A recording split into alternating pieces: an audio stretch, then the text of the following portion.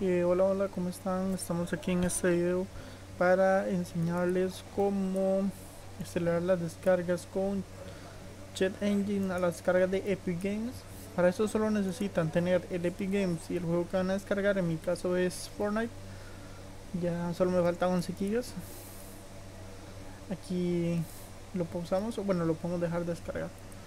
Ok, unos ajustes extra del Jet Engine que pueden hacer son los siguientes.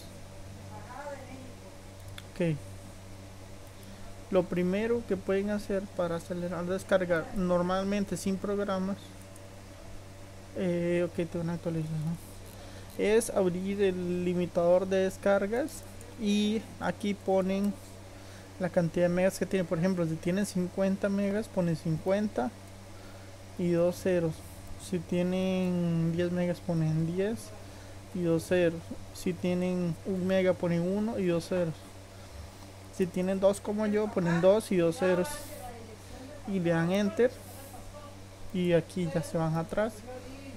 Y eso les dará okay, una mayor estabilidad en su descarga. Se va a estar más estable. Ok, lo segundo, lo segundo que pueden hacer es irse al administrador de tareas. Una vez estén en el administrador de tareas, se van a detalles, buscan el Epic Games y le dan establecer prioridad y lo ponen en alta. Y listo.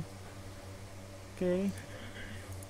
Lo ponen en alta y ahora va a estar descargando forma, de forma alta prioridad va a descargar a más de 200 o como entre 200 eh, kilobytes que es la velocidad máxima de 2 megas. Ok. Como ven la velocidad más estable. Esto es un punto máximo que se puede alcanzar normalmente. Ahora viene el truco que les voy a enseñar. Abren el chat engine que sea la última versión. Les voy a dejar la página original donde pueden descargar las últimas versiones abren el Epic en la parte de descargas. Ok. Esperen que cargue.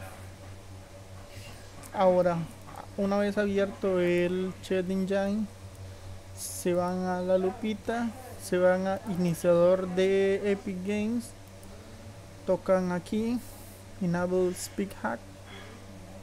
Y aquí ponen 0,3 y aquí en fase scan ponen 1 y aquí aplican varias veces y minimizan.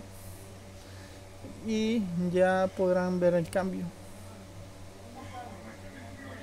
de velocidad. Como pueden ver ya, ya empieza a subir más rápido la descarga empieza a descargar mucho más rápido. Eh, este truco es muy recomendable para la gente que tenga muy limitado el internet o muy pocos megas. Entonces a ellos sí les serviría. Los que tienen más de 10 megas pues sería raro usar esto porque ya más de 10 megas la velocidad es más estable. Entonces pienso yo que sería ilógico. Pero bueno, ya queda a criterio de cada quien. ¿Quieres usarlo? Pues igual te va a servir. Ok, yo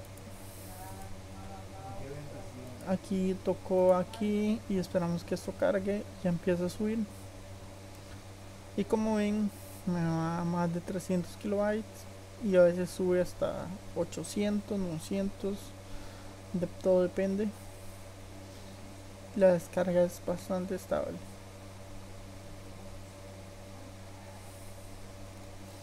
No bueno nada más que esperar que se descargue. Eh, tener un poco de paciencia porque igual con este truco sí va a durar de todas maneras porque eso es lo que hace acelera pero no es que te va a descargar así de un solo. Sí te ayuda pero no hace milagros. Ok eso sería todo por este video pruébelo y coméntenme si les sirvió y nos vemos en un próximo video